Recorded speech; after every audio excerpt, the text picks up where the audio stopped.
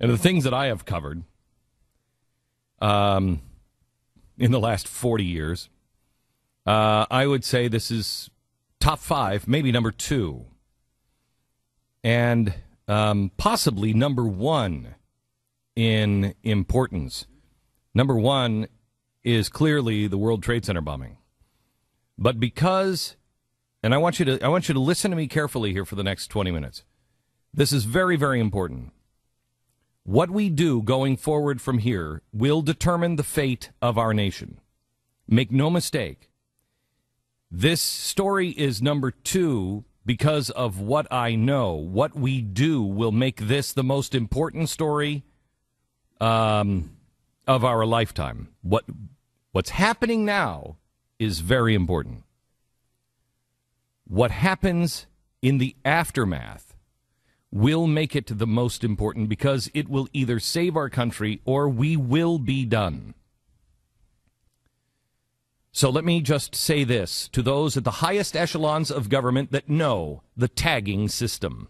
They know all about events, not files, events. Let me send this message very clear.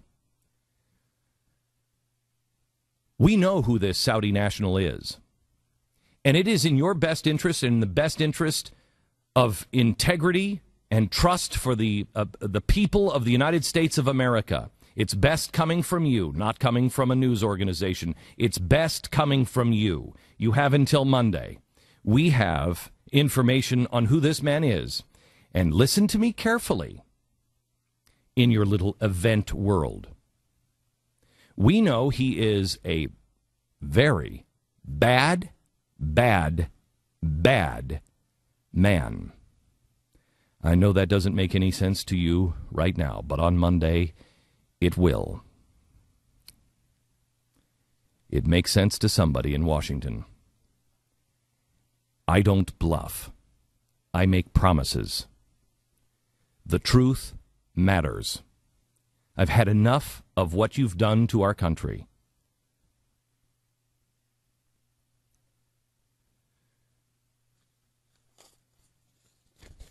I thought I had heard and seen it all. I thought I didn't trust my government. Oh, no. No, no. There is no depth that these people will not stoop to. They have until Monday. And then The Blaze will expose it.